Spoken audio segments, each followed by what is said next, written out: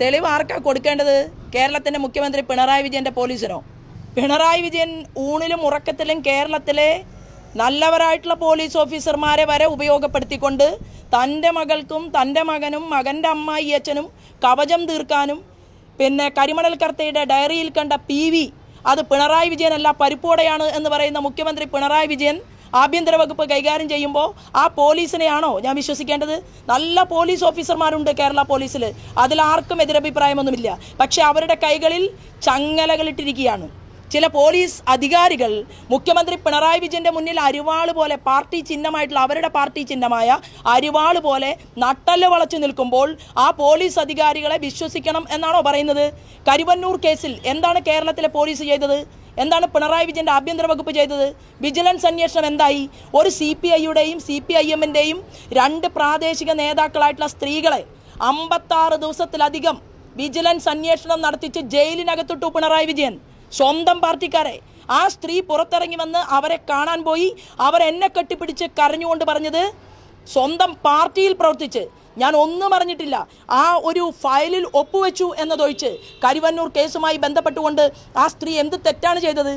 പക്ഷേ അവരെ ക്രൂശിച്ചുകൊണ്ട് ഇതെങ്ങനെയെങ്കിലും കേരള പോലീസിനെ കൊണ്ട് അന്വേഷിപ്പിച്ച് അവസാനിപ്പിക്കണം എന്ന് പറഞ്ഞ കരുവന്നൂർ കേസുണ്ടല്ലോ. മൂന്നര വർഷത്തെ ശോഭാ സുരേന്ദ്രന്റെ പോരാട്ടം കൊണ്ടാണ് ഇന്ന് കരുവന്നൂർ കേസിലെ പല പ്രതികളെയും ചോദ്യം ചെയ്തിട്ടുള്ളത്. പല രേഖകളും ദേശീയ ഏജൻസിക്ക് മുൻപാകെ കൊടുക്കാൻ നിങ്ങളുടെ സഹോദരിയായിട്ടുള്ള എനിക്ക് സാധിച്ചിട്ടുണ്ട്. ക്യാമറ വിവാദമുണ്ടായല്ലോ.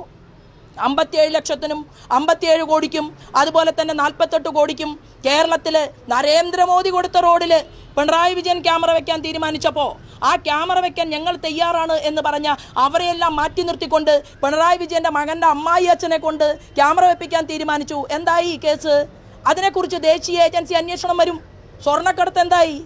അപ്പൊ ദേശീയ ഏജൻസി പെട്ടെന്നൊരു ദിവസം അന്വേഷിച്ച് ആളുകളെ പിടികൂടുന്ന ഒരു ഏജൻസിയല്ല. അവരുടെ ചുമതല എന്താണ്? അവരവരുടെ കൃത്യം ഭംഗിയായിട്ട് നിർവഹിക്കണം. അവർ നമ്മുടെയൊക്കെ ശമ്പളം പറ്റിക്കൊണ്ട് ജീവിക്കുന്ന ഉദ്യോഗസ്ഥന്മാർ തന്നെയാണ് ദേശീയ ഏജൻസിക്കകത്തുള്ളത്.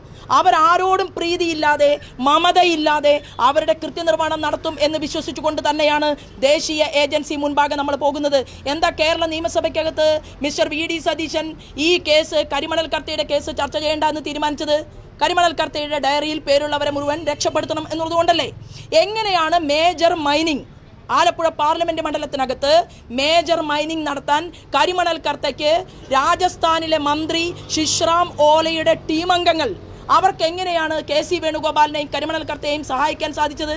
എന്തേ കേരളത്തിന്റെ മുഖ്യമന്ത്രിയുടെ പാർട്ടി അതിനെതിരെ രംഗത്ത് വരാതിരുന്നത്? ഒരു സഖാവിനെ തോട്ടപ്പള്ളിയിൽ കൊന്നുകളഞ്ഞല്ലോ.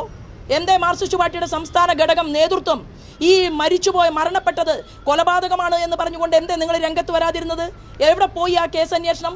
കരുവന്നൂരിലെ ജയിലിനകത്ത് കിടക്കുന്ന സതീശനും അവിടുത്തെ മിസ്റ്റർ മൊയ്തീൻ മുൻ മന്ത്രിയും രണ്ടുപേരും ചേർന്നുകൊണ്ട് ഏറ്റവും കൂടുതൽ സഹായ സഹകരണങ്ങൾ ഫയലുകൾ അങ്ങോട്ടും ഇങ്ങോട്ടും നീക്കാനും പിന്നെ കള്ളപ്പണം മാറ്റിമറിക്കാനും ഒക്കെ ഉപയോഗിച്ച അരുൺ എന്ന് പറയുന്ന ചെറുപ്പക്കാരനെ അർദ്ധരാത്രി ഒരു മണിക്കല്ലേ ലോറി കയറ്റി കൊന്നത്?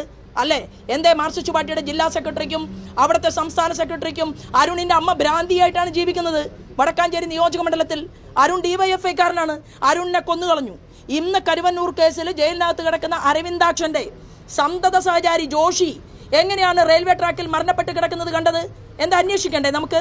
അപ്പൊ കേരളത്തിൽ ഈ മാർക്സിസ്റ്റ് പാർട്ടിക്കെതിരെയോ കോൺഗ്രസിലെ ചില ഇതുപോലെയുള്ള വളരെ വലിയ തെറ്റ് ചെയ്യുന്നവർക്കെതിരെയോ ആരെങ്കിലും പ്രതിര- പ്രതികരിച്ചു കഴിഞ്ഞാൽ ആ രേഖകളെല്ലാം തേച്ചു തേച്ചുമാച്ച് കളഞ്ഞതിന് ശേഷം ഈ കോടതിയിൽ പോകുന്ന ഏർപ്പാടുണ്ടല്ലോ. അതൊക്കെ കേരളത്തിലെ ജനങ്ങൾക്കും ആലപ്പുഴ പാർലമെന്റ് മണ്ഡലത്തിലെ ജനങ്ങൾക്കും മനസ്സിലായിട്ടുണ്ട്. വേണുഗോപാലിന് എന്തായാലും നല്ല കാലം വരാൻ പോവുകയാണ്. എനിക്കും നല്ല കാലം വരാൻ പോവുകയാണ്. അത് നമുക്ക് രണ്ടു കൂട്ടർക്കും ഒന്ന് നോക്കാം. അത്രയേ അതിനെക്കുറിച്ച് ഇപ്പോൾ പറയാനുള്ളൂ.